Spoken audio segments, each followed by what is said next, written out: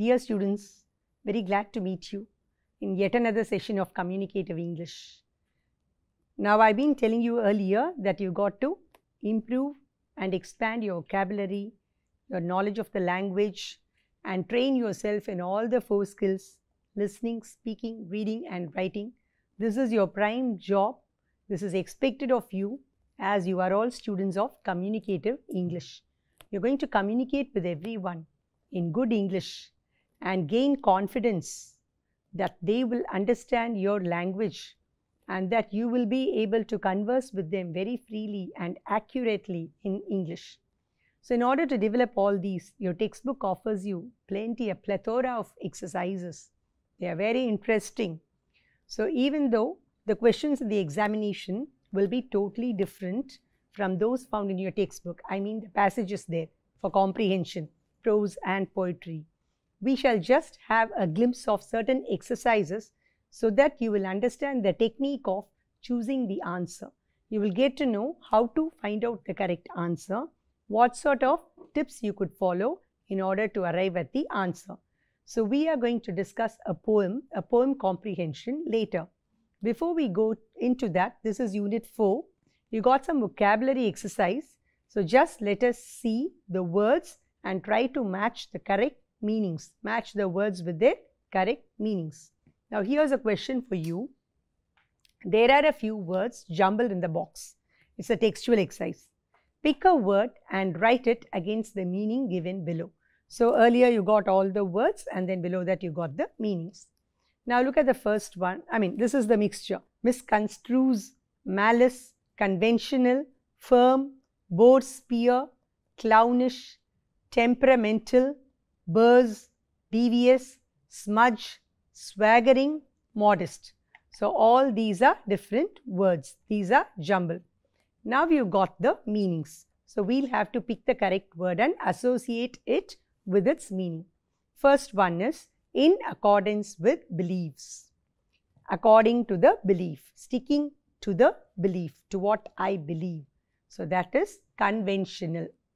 So, when you act according to your belief, you do not deviate from it, you believe in your old thoughts and ideas or the regular routine and ideas. It is conventional. Then the desire to harm someone. So, that is malice. You have the desire to harm someone, the evil intention, the hatred, that is malice. To interpret wrongly, misconstrue. The word given there was misconstrues, but here according to the meaning, it is misconstrue when I interpret, when I understand somebody's actions in a wrong manner, then I have misconstrued them. So, misconstrue. Next word, showing a skillful use of negative tactics to achieve goals. So, by hook or crook, whatever means I wish, I use bad techniques, things that are morally wrong in order to achieve my goal. So, that is devious evil minded, devious, doing wrong things in order to get something done. Rough edge left on an object by a tool. It is burr, though it's given as burrs there, here singular, rough edge. If it had been edges, then I would have written burrs. So, rough edge left on an object. So, while cutting or something, some metal part is projecting. So, that edge you have to nip it off, remove it later using some other instrument. So, this rough edge left on an object by a tool, a hammer or some other tool, it is called a burr, B-U-R-R. Then solid structure, resilient, unyielding, it's very strong. So, the term is firm. Spear used for hunting bear. So, that is called a boar spear. Boar, boar is an animal, a pig-like animal. So, use a boar spear to hunt the bear. A person's unreasonable changes of mood, temperament. You say, I lost my temper, I became angry. So, temperamental depending upon your mentality. Unreasonable change, sudden jump of mood from one to the other, from anger to joy or joy to irritation and so on. Parade with arrogance, swaggering. So, with a swaggering gait, she walked along the dais. So, parade with arrogance perhaps by virtue of her authority or because she is very beautiful. She keeps walking with arrogance, that is swaggering. humorously exaggerated. So clownish. You would have witnessed the activities of a clown in a circus and so on. So it is it's an exaggerated. What is exaggerated? Making something very big out of a small thing. So exaggerated humor.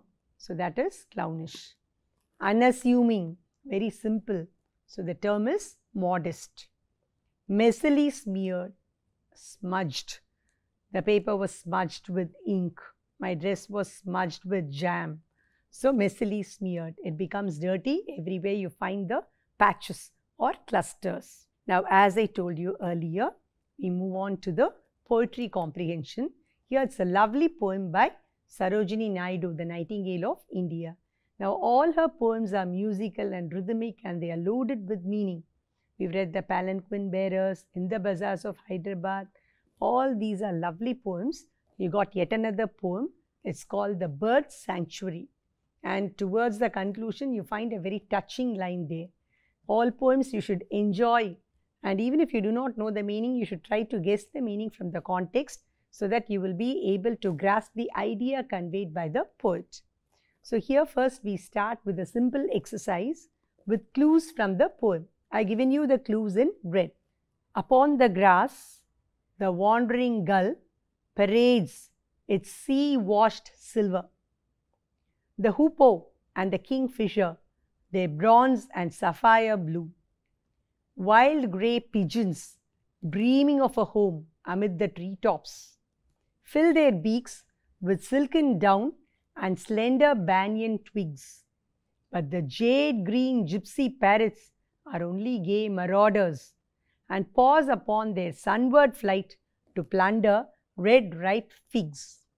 Now you got a sentence where you match the birds with their colors. The first one is gull. So how do I choose my answer?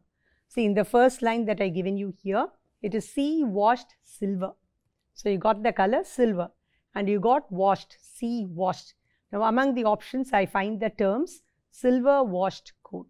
So this could be matched with the gull. Gull, silver washed coat. Now next is the kingfisher. Look at its activities here. The hoopoe and the kingfisher, they're bronze and sapphire blue.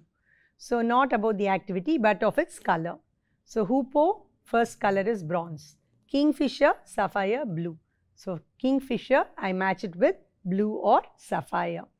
And hoopoe bird, automatically from the same line, I get the color bronze. So hoopoe bird, bronze.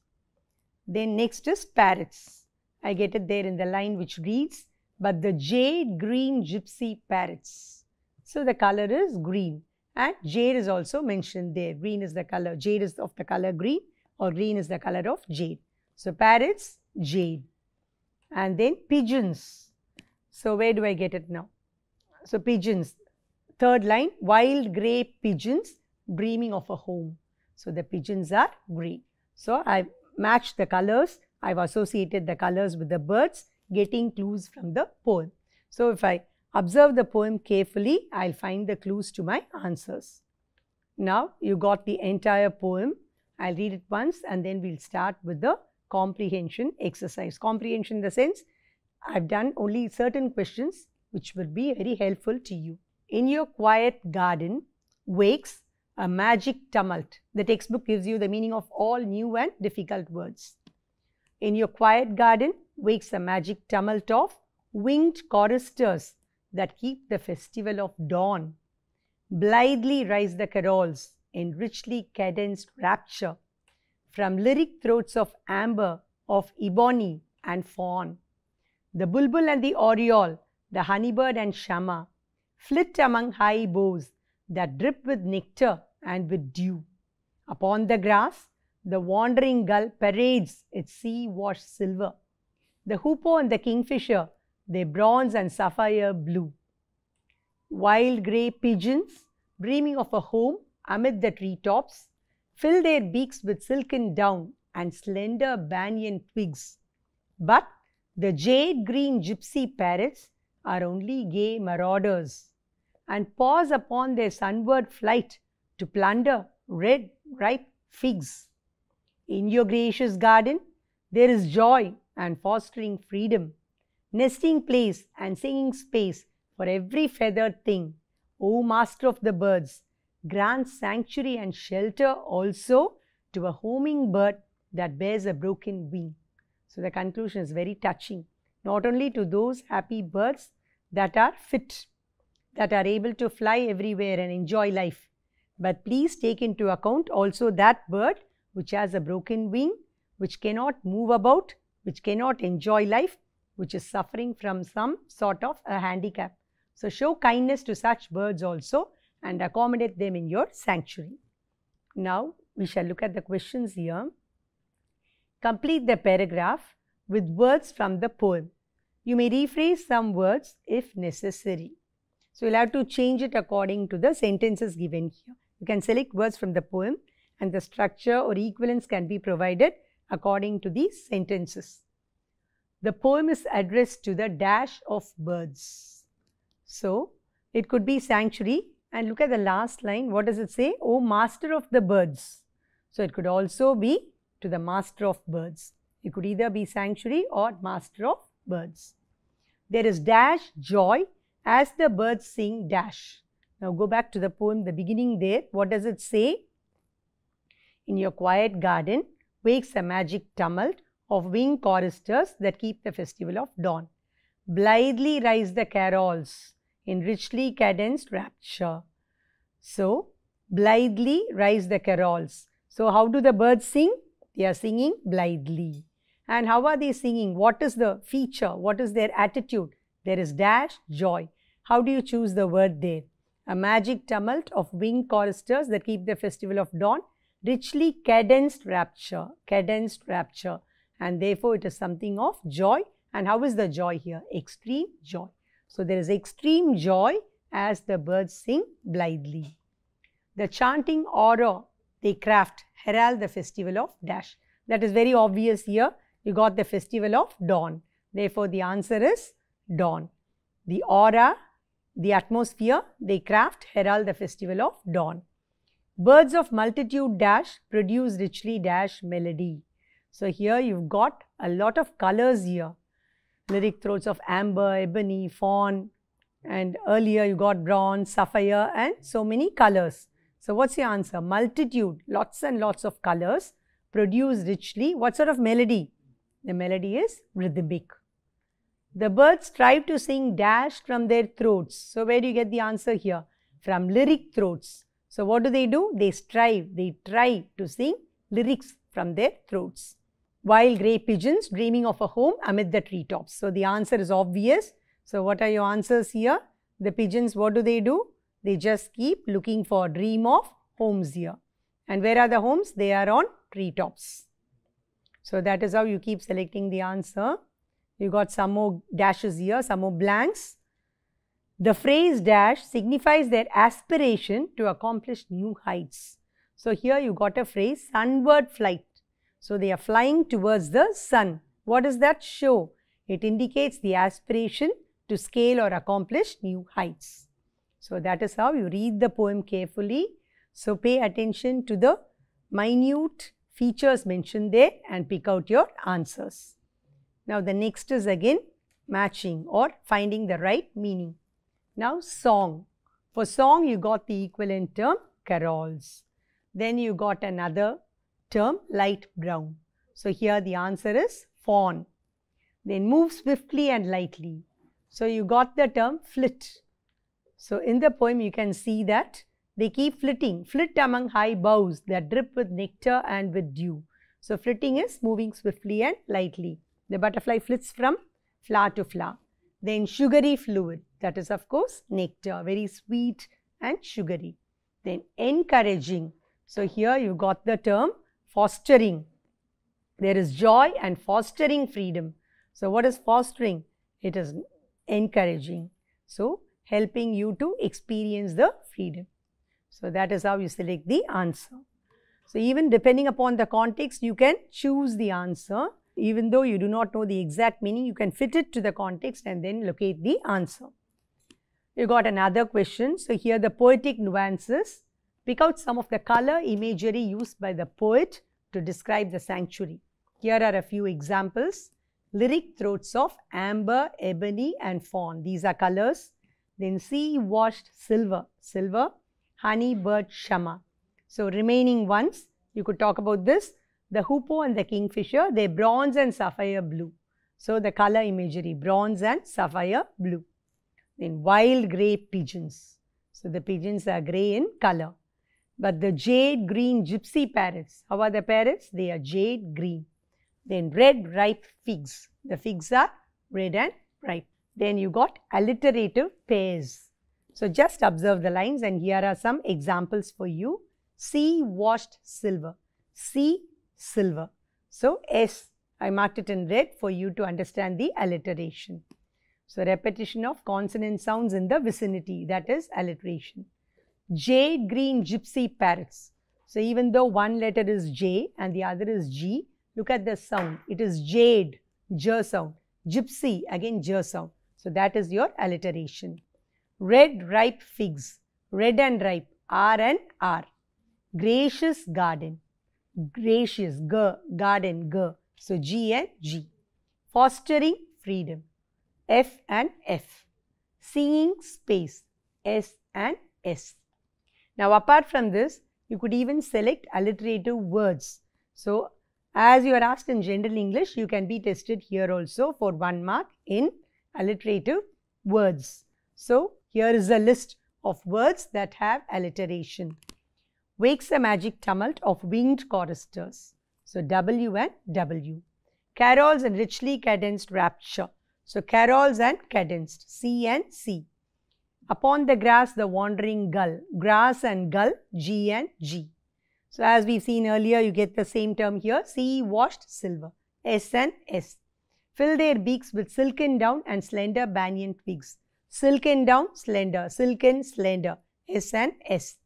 Jade green gypsy parrots are only gay marauders. Jade, gypsy, green, gay. Green and gay, g sound whereas jade and gypsy, j sound. Pause upon their sunward flight to plunder red ripe figs. Pause and plunder, p, the sound per, red and ripe, the sound r. Gracious garden, so G and G. Fostering freedom, F and F. Singing space, S and S. Homing bird that breaks a broken wing. Bird, bears, broken. So, the repetition of bird sound which is indicated by the letter B. So, this is how you find words and you try to appreciate the poem and understand the nuances of the poem. Students, having done this aspect of appreciating poems, we now move on to the next one. This is called stress. Now, stress and intonation, they are very, very essential and integral parts of speech. Now, certain areas, though you would not be tested in the examination, these are essential for you to score marks in your practicals as well. So, in your practical examination, it would be required of you to speak something.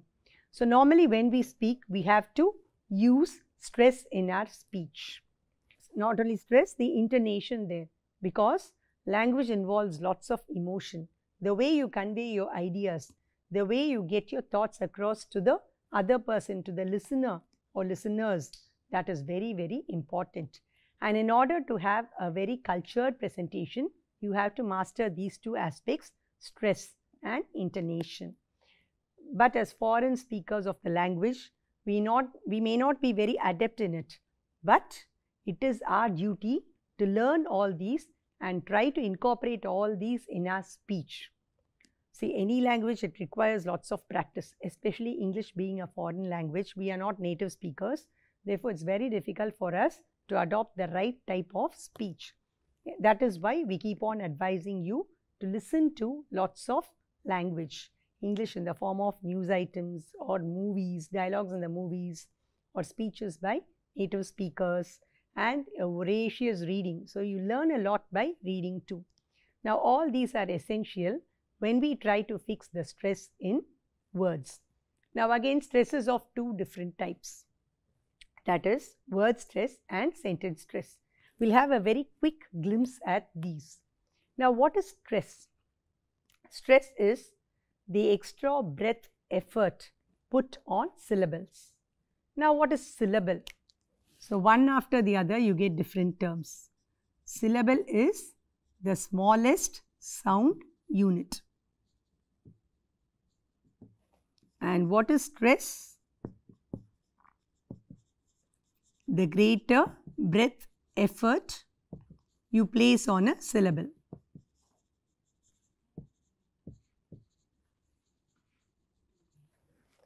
So, in your general English too, you would have learnt of all these monosyllabic, disyllabic, trisyllabic, all those things. So, the word is split into syllables and you should know how to pronounce them properly. Now, words of a single syllable boy, girl, share, man, all these take the stress initially.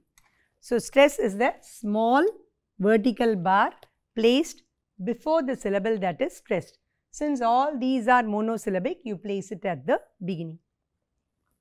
Now, when you take this word, consider these words table, pencil, about, below. Now, oh, you can see that these are made up of two syllables. Syllable is the change in the sound unit. Now, table, okay, it is split into two syllables. Pencil, again two. About, you don't say about, it is about.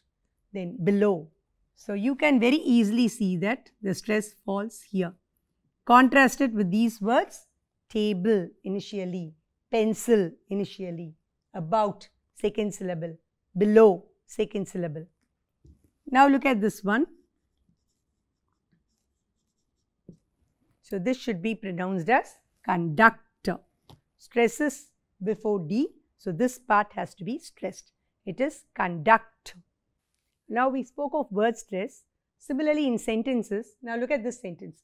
Now normally when we speak, we do not give force to each and every word that occurs in a sentence. Then it would take us ages to pronounce the words. So in the rapid flow, only certain words are pronounced with greater audibility and the rest with a mild tone. Now look at this. Bring me a pen, pencil and some papers. So did I say bring me a pen, pencil and some papers? I didn't say it that way.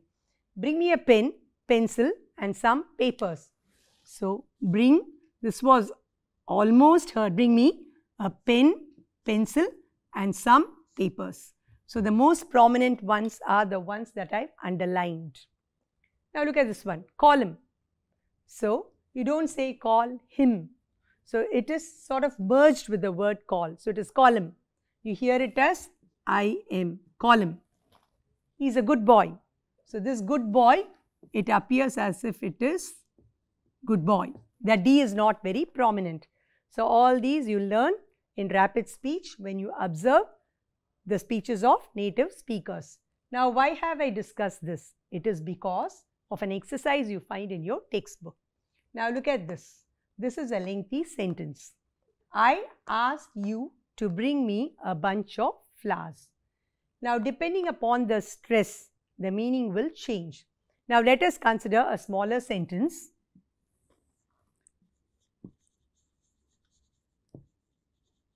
Okay, I called you. Suppose I say, I called you.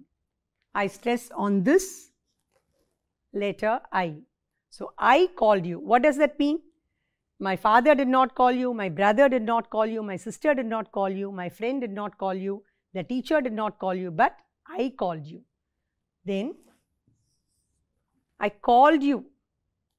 So, I did not beat you, I did not take you elsewhere, but what did I do? I called you. Then, I called you. So, I did not call your sister, I did not call your mother, but I called you. So, depending upon the way I stress the words, the meaning differs. So, what I wish to convey is conveyed by my mode of stressing the words appropriately. So, when this is clear to you, let us try analyzing this longer sentence. There are many words in this and different shades of meanings could be brought out by stressing each word. Let us try to find out the different shades of meaning here. I asked you to bring me a bunch of flowers. So, first I stress on this. I asked you to bring me a bunch of flowers. So no one else asked for it, only I asked for it. The teacher did not ask for it, the chief guest did not ask for it, but I asked you to bring me a bunch of flowers. That is number one. Then I asked you to bring me a bunch of flowers.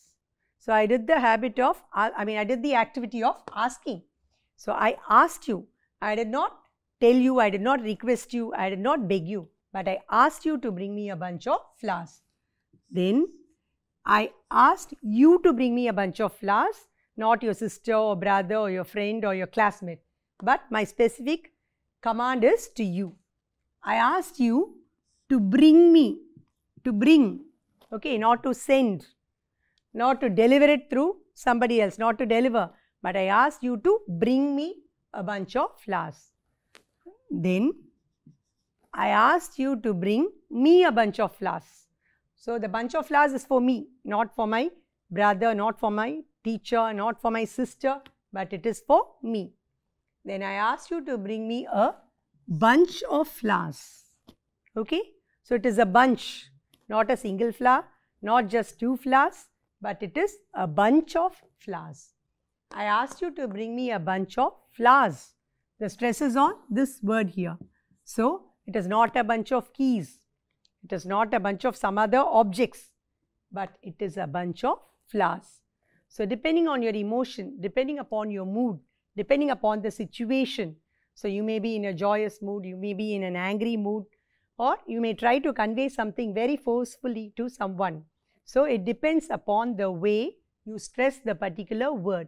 So, the meaning is obvious from the way you place that stress on the words. So that is why sentence stress is very, very important. So take little passages and try to speak them. Try to shift the stress from one word to the other and look at the vast difference in the meaning that would be conveyed by your changing the stress or shifting the stress from one term to the other.